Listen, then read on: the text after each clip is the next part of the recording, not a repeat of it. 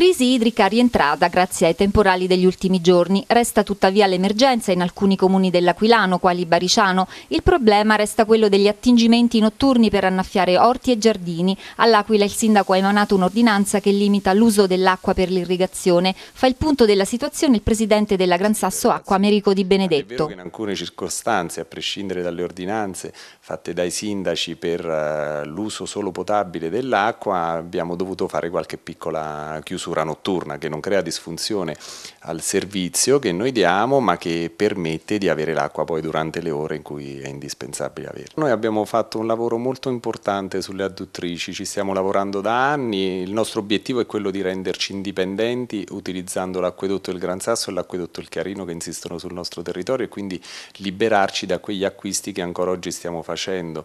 Fra i problemi legati all'Aquila anche la presenza di salmonella che continua a rendere difficile la vita di molti agricoltori agricoltori. I depuratori sono a posto, ribadisce Di Benedetto. Il problema è costituito dagli scarichi abusivi. Stiamo investendo molto, tra l'altro eh, abbiamo avuto anche un finanziamento di circa 10 milioni di euro per sviluppare, ampliare e migliorare impianti di depurazione. È chiaro che però noi non abbiamo piena padronanza di tutta la, la situazione fognaria.